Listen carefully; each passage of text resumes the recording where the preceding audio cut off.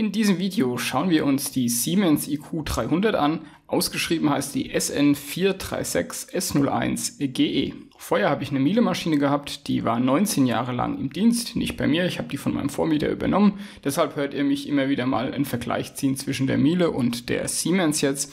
Das ist natürlich bei einer 19 Jahre alten Maschine zu einer aktuellen Siemens-Maschine kein wirklich fairer Vergleich, aber ein paar Unterschiede habe ich halt festgestellt und die bringe ich dann hin und wieder vielleicht einmal an. Die IQ300 ist eine Maschine mit geringeren Ausstattungsmerkmalen. Die hat mich jetzt, bis sie in der Wohnung war, also Altgeräteabholung auch dabei, 460 Euro gekostet. Der reine Maschinenpreis ist nochmal deutlich darunter. Der war bei ungefähr 390 Euro bei Alternate gewesen. So, als erstes, was hat die denn für Funktionen? Dazu blende ich euch mal das Frontpanel ein.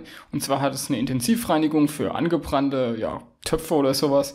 Dann gibt es eine Autoreinigung und laut Beschreibung im Internet ist eine Sensorik im Wasser dabei. Das heißt, das Schmutzwasser wird einfach auf Dreck geprüft mit einer Lichtschranke und je nachdem, wie dreckig das ist, wird die Temperatur und die Spülstärke einfach reguliert. Der Autogang ist für haushaltsübliche Verschmutzungen laut Siemens. Der interessante Gang ist aber allerdings der Eco-Gang. Der hat das Energielabel, das heißt, wenn ihr also die Waschmaschinen vergleicht und ihr habt jetzt wie bei der zum Beispiel eine Energiesparklasse A++, ist immer dafür ausschlaggebend der Eco-Gang. Das heißt, sobald ihr euch von diesem normalen Eco-Gang entfernt, kann die völlig andere Verbrauchswerte haben und ist dann auch nicht mehr vergleichbar mit anderen Maschinen. Deshalb ist das auch mein Lieblingsgang, aber dazu dann später mehr. Es gibt gibt noch extra einen Glasgang, der heizt das Wasser nicht so hoch und eignet sich dann entsprechend für empfindliches Geschirr. Es gibt auch einen Schnellgang mit 65 Grad, der dauert nur eine Stunde. Auch hier haushaltsübliches Geschirr, sagt Siemens. Der letzte Knopf ist dann fürs kalte Abspülen gedacht. Das ist also kein kompletter Reinigungsgang. Jetzt kann ich diese normalen Gänge nochmal kombinieren mit Zusatzfunktionen wie zum Beispiel Vario Speed. Da wird dann mehr Wasser und mehr Energie verbraucht, um halt den Zeitfaktor auszugleichen. Dann gibt es nochmal die Intensivzone, das heißt unten wird mehr gereinigt, oben wird weniger gereinigt. Dann gibt es noch den extra trockenen Gang, auch hier wird wieder mehr Zeit und Energie investiert. In diesem Zusammenhang ist auch nochmal der sinnische Kreis interessant. Der hat vier, vier Faktoren, die zum Reinigungsergebnis beitragen. Zum einen die Chemie, Mechanik, Temperatur und Zeit. Das sind die vier Faktoren. Das sind halt auch die Möglichkeiten, die so ein Waschmaschinenhersteller hat, an der Reinigungsleistung was zu ändern oder halt auch am Energieverbrauch was zu ändern. Das teuerste beim Energieverbrauch ist das Aufheizen des Wassers, also der Faktor Temperatur. Den kann ich wiederum kompensieren, wenn ich einfach zum Beispiel mit Zeit den Gang länger laufen lassen. Das sieht man zum Beispiel beim Eco-Gang, der läuft halt drei Stunden und 30 Minuten in seiner normalen Fassung, also dreieinhalb Stunden und ist damit der längste Gang. Damit kann man die Temperatur etwas absenken, nämlich auf 50 Grad, um immer noch das gleiche Reinigungsergebnis wie in anderen Gängen zu bekommen, die schneller sind. Ich muss aber auch zugeben, dass der Eco-Gang zum Beispiel ein bisschen patzt beim Trocknen am Ende. Das kann man aber wieder ausgleichen, indem man extra Trocknen anschaltet. Das dauert dann 5 Minuten länger der Gang, der dauert dann 3 Stunden und 35 Minuten. Es wird hier auch mehr Zeit und mehr Energie wieder verbraucht.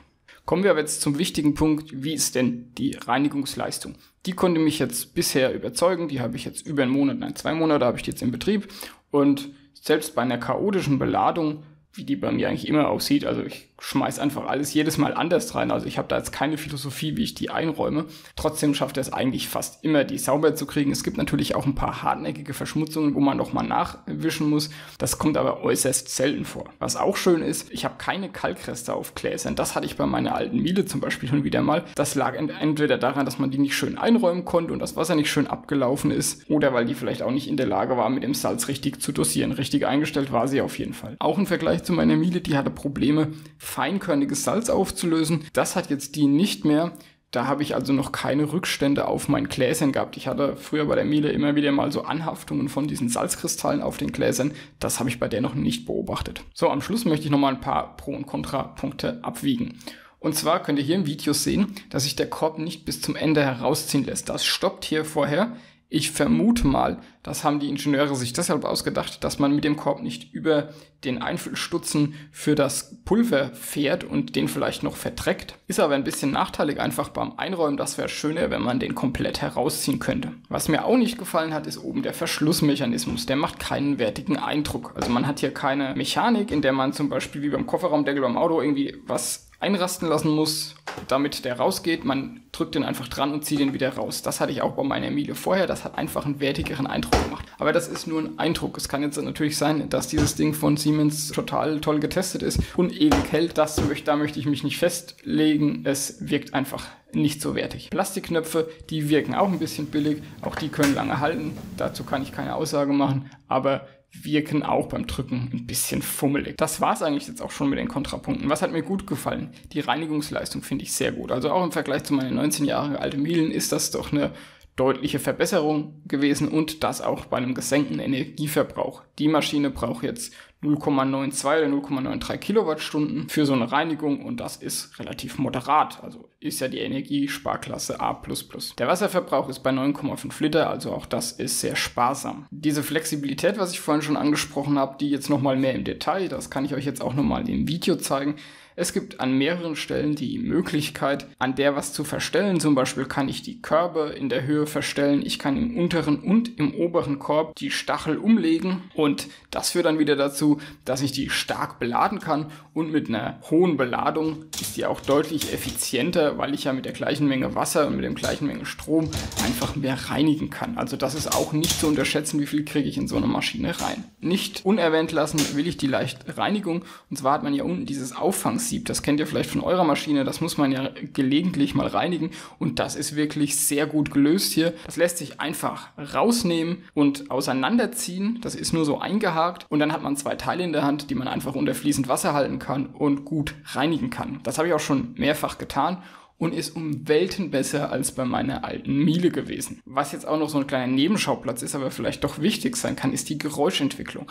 Und die unterscheidet sich in den verschiedenen Gängen. Und zwar im Eco-Gang ist die sehr leise und nicht nur leise, sondern auch so kontinuierlich. Also es ist einfach wie so ein leises Summen im Hintergrund, was man da die ganze Zeit hört. Keine großen Unterschiede zwischen den Geräuschen und das macht das Ganze erträglich. Der Autogang zum Beispiel ist deutlich ungleichmäßiger und stört einfach deshalb viel mehr. Deshalb ist auch der Eco-Gang mein Lieblingsgang und zwar aus verschiedenen Gründen. Erstens ist der schön leise, zweitens ist der günstig. Also wenn ich mal gucke, was eine Kilowattstunde kostet, kostet ist ja eine knappe Kilowattstunde, was das Teil braucht für so einen Reinigungsgang im Eco-Gang. Und eine Kilowattstunde kostet ja in Deutschland mittlerweile schon so im Durchschnitt 30 Cent. Also ich bin jetzt 2019, da war das so ungefähr der Durchschnitt. Das heißt, so eine Reinigung kostet mich allein schon an Strom knappe 30 Cent. Dazu kommt dann nochmal der Wasserverbrauch und die Chemie, die ich reingeben muss. Um diese Kosten gering zu halten, nehme ich halt auch den Eco-Gang, denn Zeit habe ich als Faktor normalerweise relativ viel. Ob die jetzt zwei oder drei oder dreieinhalb Stunden brauche, ist in der Regel gar nicht so wichtig. Wenn ich die zum Beispiel über Nacht laufen lasse, kann mir das auch egal sein. Die kann man, wie gesagt,